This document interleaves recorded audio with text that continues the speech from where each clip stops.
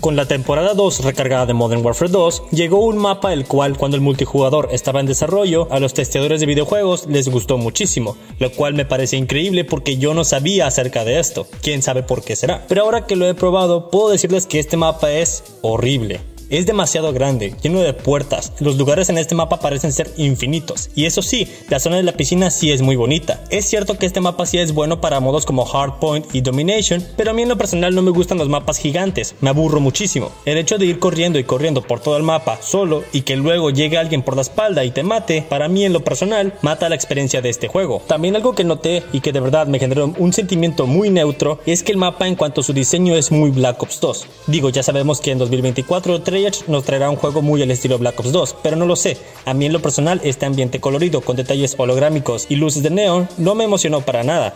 Y esto se los puedo jurar. Este es un mapa en el cual a fuerzas tienes que llevar ciertas categorías de armas, porque si quieres usar una escopeta tendrás que campear a esperar a que alguien se cruce enfrente tuyo y si quieres usar metralleta será muy difícil que mates a alguien que tiene un rifle o un sniper, porque este es un mapa de largas distancias. No sé por qué siguen haciendo eso de traernos mapas super gigantes y bonitos, olvidándose del frenetismo y la diversión.